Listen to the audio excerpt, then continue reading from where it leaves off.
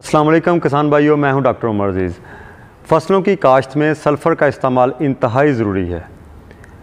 Sulphur ज़मीन की सलाहियत बढ़ाने के साथ साथ प्लांट की हेल्थ पे भी बड़ा असरअंदाज होता है।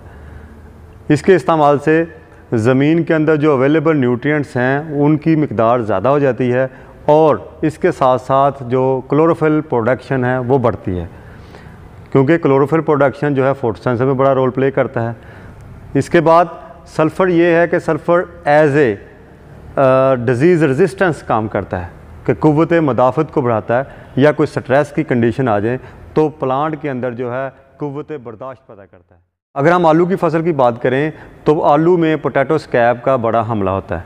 सल्फ़र उस स्कैब के लेवल को मिनिमाइज़ करने में, कम करने में बड़ा अहम करदार अदा करता है, क्योंकि सल्फ़र जब आप अप्लाई करते हैं तो ये ज़मीन की पीएच जिसे बुखार कहते हैं, वो कम करता है, मिनिमाइज़ करता है, जिसकी वजह से स्कैब का हमला कदरे कम हो जाता है।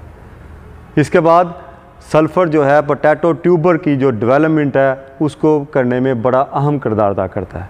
सल्फ़र ना सिर्फ़ पोटैटो के लिए ज़रूरी है, बल्कि इसके बाद तेलदार अजनास के लिए भी नहायत अहम है, क्योंकि जो आयल के कंटेंट्स हैं, दाने के अंदर, वो बढ़ाने में सल्फ़र का कलीदी किरदार है। और अगर ऑयल के कंटेंट बढ़ते हैं तो इसका मतलब उसका वज़न बढ़ता है तो इसमें किसान की जो है फ़ी एकड़ पैदावार बढ़ती है। लिहाजा सल्फ़र फ़सलों में खसूस आजकल जो जैसे गंदम चल रही है, इसके लिए बड़ा अहम है। तो ये ज़मीन की पीएच को कम करने में किरदार अदा करता है।